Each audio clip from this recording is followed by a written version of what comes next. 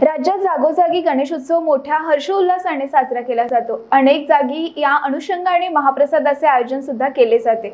नागपुरातील प्रसिद्ध शेफ विष्णू मनोहरने सुद्धा यावेळी महाप्रसादाचे आयोजन केले होते. आणि महाप्रसाद म्हणून एका भल्या मोठ्या कढईमध्ये तीन हजार किलोचा महाप्रसाद तयार केला. यावेळी अनेकांनी तिथे उपस्थिती लावली. गणेशोत्सव दोन हजार बावीसच्या निमित्ताने जगप्रसिद्ध शेफ विष्णू मनोहर यांच्या रसोईत गणरायाला भोग चढवण्यासाठी तीन हजार किलोचा प्रसाद तयार केला जातो. चण्याच्या डाळीने बनवल्या जाणाऱ्या या प्रसादाला खिरापत असे म्हणतात. या उपक्रमात विविध माध्यमांनी पुढाकार घेतलाय. प्रताप फूड्स अमृत कॅटर्स आणि विष्णू मनोहर यांनी मिळून या प्रसादाचा उपक्रम राबवण्यात येतोय.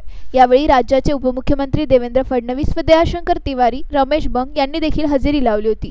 जगप्रसिद्ध शेफ विष्णू मनोहर यांनी माध्यमांचे प्रताप फूड अमृत कॅटर्सचे देखील यावेळी आभार व्यक्त केले. बहुत ही सुंदर इस प्रकार का उपक्रम है विष्णु जी वैसे तो हमारे देश में बहुत ही विख्यात शेफ है और और उनकी कीर्ति जो है वो अंतर्राष्ट्रीय स्तर पर भी पहुँची है। और इससे पहले भी कई विश्व रिकॉर्ड उन्होंने तैयार किए हैं। और मैं ऐसा मानता हूँ कि ये केवल एक महाप्रसाद नहीं है तो एक महासमर्पण भी है।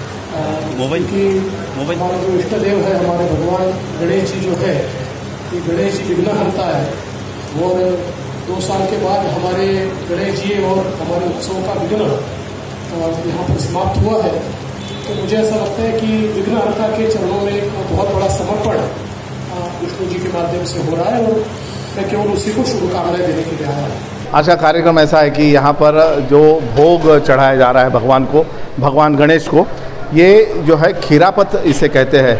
और चने की दाल का प्रसाद होता है और ये चने की दाल का प्रसाद यहाँ पर तकरीबन तीन हज़ार किलो ये दाल बन रही है, जिसमें साढ़े छः सौ, सात सौ किलो चने की दाल, डेढ़ सौ किलो फली दाना सौ किलो खोबरे के टुकड़े, डेढ़ सौ किलो तेल 25 से 50 किलो की रेंज में हल्दी, मिर्ची, धनिया पाउडर, जीरा पाउडर, गरम मसाला, गुड़, नमक, हींग, ये सारे आइटम्स हैं और तकरीबन तीन हज़ार किलो ये प्रसाद बनेगा और ये प्रसाद जो है प्रसाद बनाने में माँ एफ़ का इनिशिएटिव है, उनको साथ देने के लिए प्रताप फूड्स, अमृत कैटरस और मैं हूँ और सारी जनता है।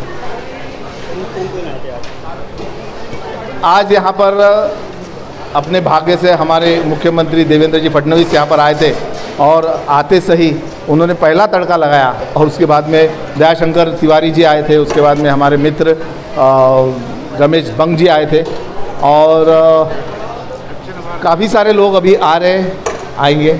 सबसे पहले तो मैं थैंक यू कहूँगा माई एफ़ को विष्णु जी को, कि ये हमें मौका मिला कि हम यहाँ पे ये पूरा इवेंट ऑर्गेनाइज कर पाए। मैं प्रताप फ़ूड से हूँ एंड बहुत ही अच्छा माहौल है आज यहाँ पे, बहुत बढ़िया माहौल है। अभी बस हमारी यही कोशिश रहेगी कि ये जो प्रसाद बना है वो हर एक तक हम पहुँचा पाए।